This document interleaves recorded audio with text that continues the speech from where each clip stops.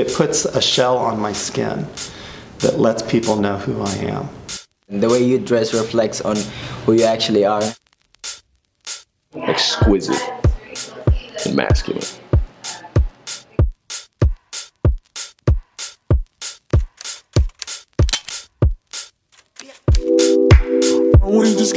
Define my style in two and a half words. I am fun.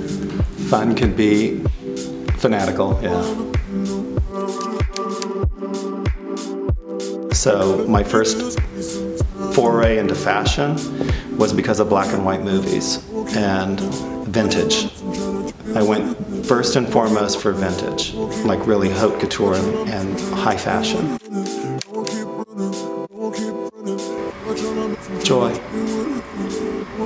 Joy inspires my fashion. I waited 22 years to get some trousers to complete a suit. Now can you imagine the joy that I found when I finally got them? Go to museums, go to um, exhibitions, go to places that actually put together really good mannequin displays and look at that look and look at that style. And the rest is history. Um, how would I describe my uh, daily fashion? I like to look very classy, you know, because I really believe that, you know, people don't really have the second chance to make the first impression. So what you're wearing inspires people to look at their best and be the best versions of themselves. Every man uh, needs to have their own vision of uh, themselves because everybody has different personalities and the way you dress reflects on who you actually are and how you carry yourself you know in what manner and uh, that's a necessity for every man I think if you ask me. Um, I think it's shoes. Shoes is really important. I think shoes tells a lot about a person, you know. Um, shoes and how clean you keep the shoes. for me to transition from uh, from an Arabic culture with like very limited uh, fashion, uh, you know, choices. I get to choose my own. I get to really choose who I want to be, and then really present me and show people, you know, this is how, this is what I believe in. You know, this is how I choose to, you know, present me, and uh, yeah, yeah. Um, to not judge people, not judge at all. You might see, you know, people from a, you know, from a different places, different cultures, and you might think it's crazy or like you might think it's cool. But like, let people be who they are, and you know, you get to choose whether that's that's something you're interested in, you want to do or not. Probably my vest, because that's the thing I wear the most. I would, yeah, my vest. I don't even know how to describe it.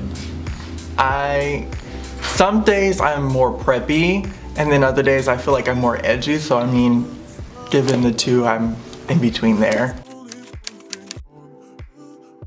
I would say just whatever you're attracted to just wear it. I mean and you'll come up with a color palette through that and you'll you'll realize like what pieces look good on you and what pieces don't and what colors look best on your skin tone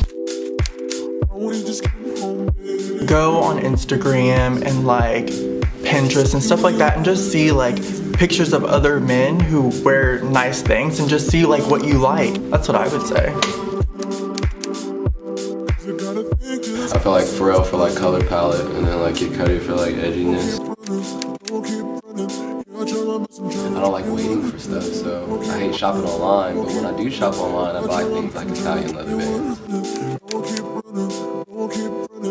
I like H&M for the most part. They was kind of lacking for a couple years, and then they came back at it. And then besides that time, prior to that, oh, I was at Urban Outfitters. Now Urban Outfitters lacking.